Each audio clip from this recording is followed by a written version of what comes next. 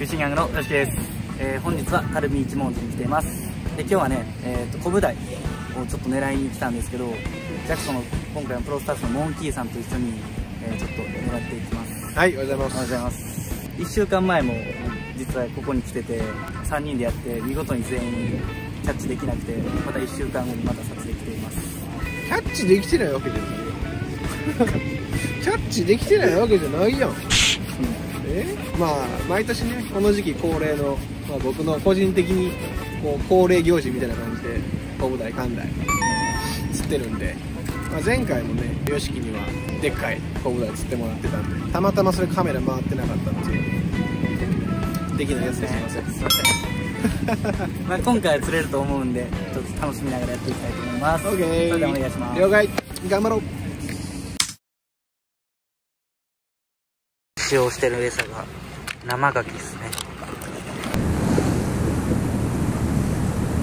それでは牡蠣そしてセットできたんで入れてみたいと思います。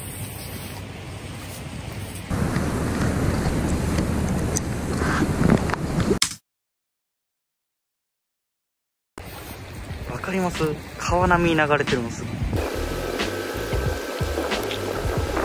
で今僕らやってるのは先端です、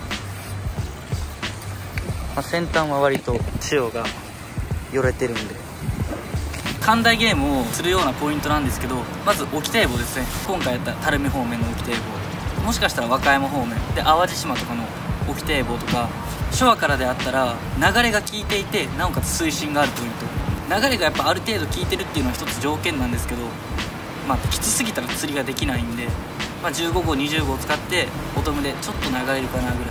まあ流れなくてもある程度ちょっとね潮が動いてくれたらそれで十分なんでエリアで言ったら防波堤。なおかつテトラとかがないでスリットがある場所の方がやっぱり魚はつきやすいと思います。でまあ置き竿ですね。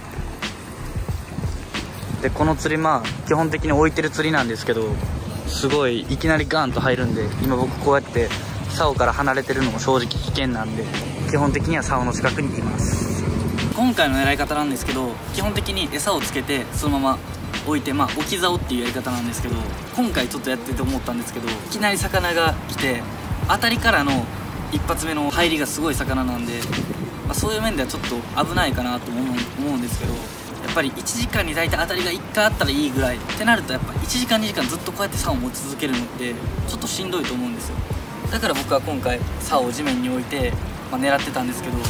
置いてても体で手だけこうやって竿に持っとくとか、まあ、それは今回ちょっと釣りしてて思いましたね。今回な。来た。来た今回使用したタックルなんですけどロッドがボギーさんのハーリーこちらの1002まあ、GTO ロットですよね。リールがシマノさんのツインパワー SW の5000の HG で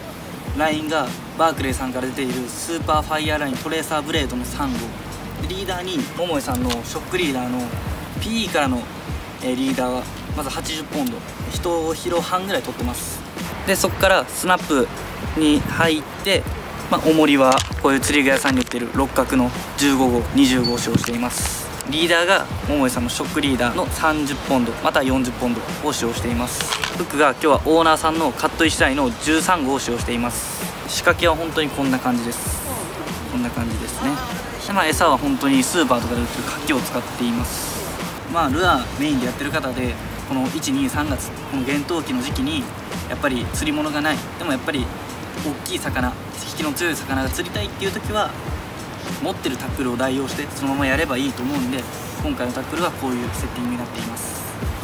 あーちっちゃいわ。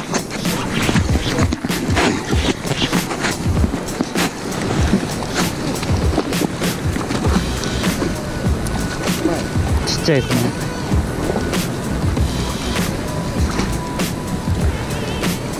ありがとうございます。まだメスメスですね完全に。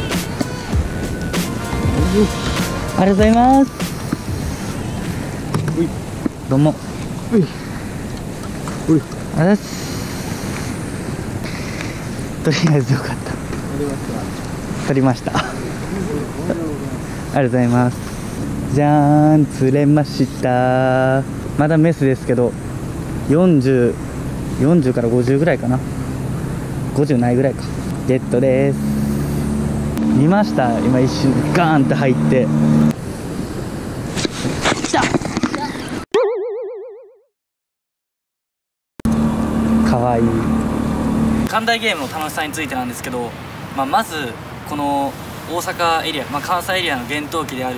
1月2月3月ぐらい皆さん釣りやってたら釣り物がどんどんとなくなってくると思うんですよ。でなおかつ青物とかそういう結構パワーファイターたちがいなくなる中で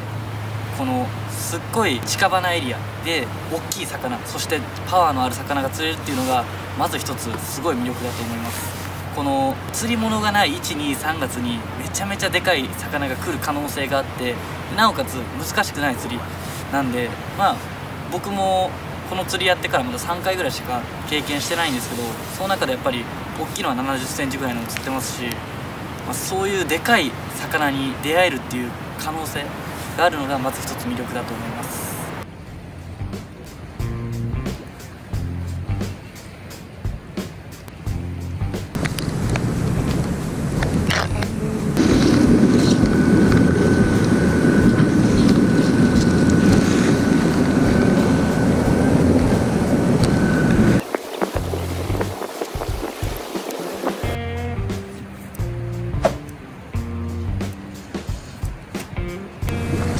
ついとるな。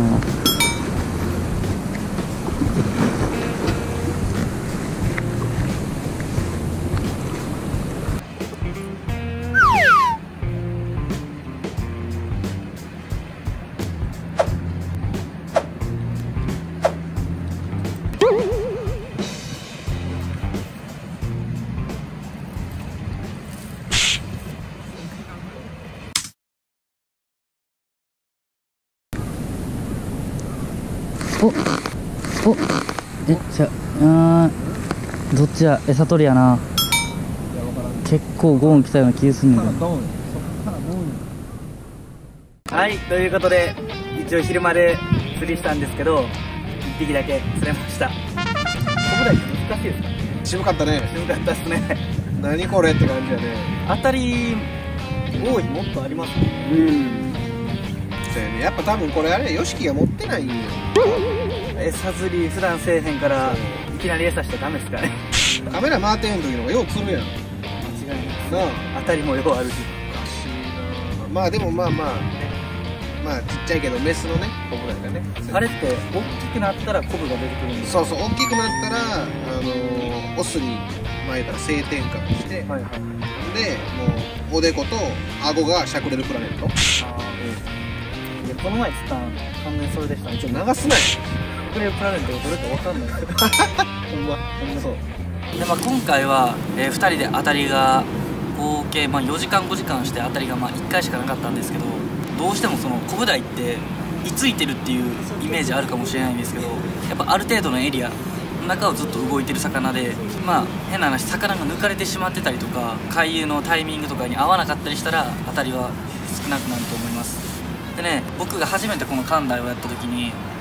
半日ぐらいで当たりは34回はあったんですけどそれもタイミングと、まあ、ケースバイケースですよね。今日は良かったけどこの前はダメだった。昨日まで良かったけど今日はダメだったとか逆に今日はダメで明日めっちゃ釣れるとかはあると思うんですけど狙い方的にそのなんで今日がめちゃめちゃあかんかったとかはそんなになくて、まあ、餌も一緒ですし、まあ、強いて言うならちょっと流れがきつすぎたかなっていうのはちょっとあるんですけど今まで、えー山頂湖をしてきた中で今日は一番流れがきつくて釣りがする場所がすっごい少なかったです。で釣りができる場所でもかなりガーッと流れてたんで途中で餌撒いたりもしとったんですけど、まあ、そういうのも結構ボトムにつくまでに流されていってしまうっていうのがあったんで、まあ、そういうところが今回ちょっと当たりが少なかった原因かなと思います。まあでもそれでも楽しめましたね。まあまあまあまあなんやかんやいろんなね当たりもある当はこう映像で大きいねもうバカでかい国外をねしたかったんですけ次はいつか大きいのを釣りたいと思うんで、まあとりあえず今日はこんなもんで。どはいわかりました。お疲れ様です、はいお疲れ様でした